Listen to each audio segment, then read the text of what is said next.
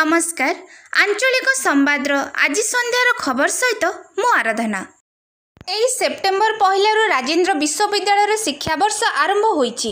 ଉଚ୍ଚଶିକ୍ଷା ବିଭାଗର ନିର୍ଦ୍ଦେଶ ଅନୁଯାୟୀ ସମ୍ବଲପୁର ବିଶ୍ୱବିଦ୍ୟାଳୟ ତରଫରୁ ବିଜ୍ଞପ୍ତି ପ୍ରକାଶ ପାଇଁ ବଲାଙ୍ଗୀର ଓ ସୁବର୍ଣ୍ଣପୁର ଜିଲ୍ଲାର ସମସ୍ତ ମହାବିଦ୍ୟାଳୟର ସହବନ୍ଧନ ପ୍ରତ୍ୟାହାର ସହ ଏହି ସେପ୍ଟେମ୍ବର ପହିଲାରୁ ରାଜେନ୍ଦ୍ର ବିଶ୍ୱବିଦ୍ୟାଳୟ ସହ ସହବନ୍ଧନ ପାଇଁ କୁହାଯାଇଛି। ସେହି କ୍ରମରେ କଳାହାଣ୍ଡି ବିଶ୍ୱବିଦ୍ୟାଳୟ ମଧ୍ୟ ସମାନ ଭାବରେ ଆରମ୍ଭ ହୋଇଛି। କରୋନାର କ୍ରମବର୍ଦ୍ଧିଷ୍ଣୁ ଧାରା ଆଜି ଟିକିଏ ଥମିଛି। ଏବେ ସବୁ ପ୍ରାୟ ଲୋକାଲ କଣ୍ଟାକ୍ଟ। ଆଜି ଦଶ ଜଣ ପଜିଟିଭ୍ ଚିହ୍ନଟ ହୋଇଥିବା ବେଳେ ଏଯାବତ୍ ଏକ ହଜାର ଆଠଶହ ବାଷଠି ଜଣ ପଜିଟିଭ୍ ଚିହ୍ନଟ ହୋଇଛନ୍ତି। ଏପର୍ଯ୍ୟନ୍ତ ଏକ ହଜାର ତିନିଶହ ଛୟାନବେ ଜଣ ସୁସ୍ଥ ହୋଇ ଘରକୁ ଫେରିଛନ୍ତି। ଏବେ ଚାରିଶହ ଏକଷଠି ଜଣ ଚିକିତ୍ସିତ ହେଉଥିବା ସୂଚନା ଓ ଲୋକସମ୍ପର୍କ ବିଭାଗ ତରଫରୁ ସୂଚନା ଦିଆଯାଇଛି। ସାର ସମସ୍ୟା ନେଇ ଆଜି ଡୁଡୁକା ବ୍ଲକ ଘେରାଉ କରିଛନ୍ତି ଚାଷୀ। ୟୁରିଆ ସାରର ଅଭାବ ଓ ସାର ଦୁର୍ନୀତି ଉପରେ ସ୍ୱର ଉତ୍ତୋଳନ କରି ଚାଷୀ ବ୍ଲକ ପ୍ରଶାସନର ତୁରନ୍ତ କାର୍ଯ୍ୟାନୁଷ୍ଠାନ ଦାବି କରିଥିଲେ।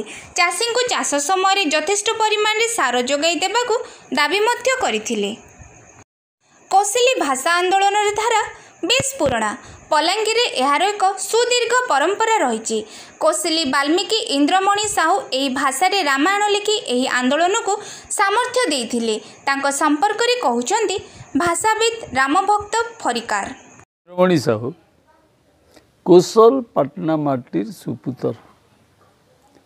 ସେ ତାଙ୍କର ଆମେ ଜାଣିଛୁ ଯେ ଯେତେବେଳେ ଓଡ଼ିଆ ମାନେ କପିଲ ମହାପାତ୍ରର ଗଲିଆ ରାମାୟଣ ବୋଲିଥିଲେ ଭାଷାକେ ଗଲିଆ ବୋଲିଥିଲେ ଆଜିର ତାରିଖରେ ଯେତେବେଳେ ଇନ୍ଦ୍ରମଣି ସାହୁ ତାକର ରାମାୟଣ ରଚନା କଲେ ସେଟା ହେଲା କୋଶଲି ରାମାୟଣ ବେଲେ ଭାଷାର ମାନ୍ୟତା ପାଇଗଲା ଆଉ ସଂସ୍କୃତି ଦିନ ବୋଲବାରଟା ଏଇଟା ଗୋଟେ ବହୁତ ବଢ଼ିଆ କାମଟେ ଆମର୍ ପ୍ରଜାତିକ ଚେତନାର ବଡ଼ଟେ କଥା ସଂସ୍କୃତି ଇଥିର୍ ଲାଗି ଆଉ ଇନ୍ଦ୍ରମଣି ସାହୁ ହଉଛନ୍ ଏକ ନମ୍ବର ଲୋକ ଇଥିର୍ ଲାଗି ସେ ତାଙ୍କର କାବ୍ୟ କବିତା ଠାନୁ ଆରମ୍ଭ କଲେ ଲେଖା ତାରପରେ ଗଲା ଯେ ଓଡ଼ିଆରେ ବି ଲେଖିଛନ୍ ପାଲା ଫାଲା କିନ୍ତୁ ତାକର ଅସଲ ଉତ୍ତରଣ ହେଇଛେ ରାମାୟଣରେ ସେ ଗୀତି କବିତା ଠାନୁ ରାମାୟଣକେ ପହଞ୍ଚିଲା ବେଲ ତକ୍ ଆମର ଭାଷାର ଉନ୍ନତି ହେଇସାରିଥିଲାନ ବନେଇ ଦୂର ତକ୍ ଯାଇଥିଲାନ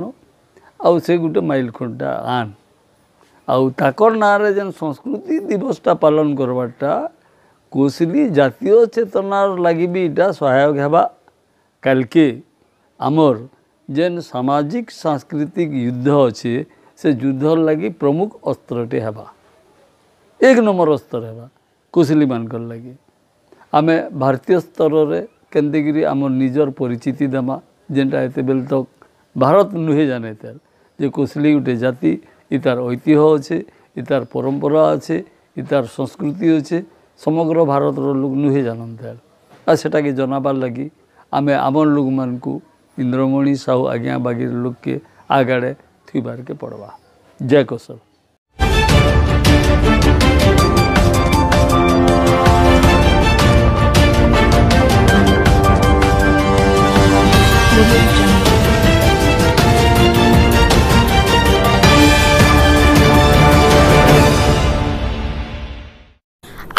ଅଞ୍ଚଳର ଖବର ଲାଗି ଲଗ୍ ଅନ୍ କରୁନ୍ ୟୁଟ୍ୟୁବରେ ଆଞ୍ଚଳିକ ସମ୍ବାଦ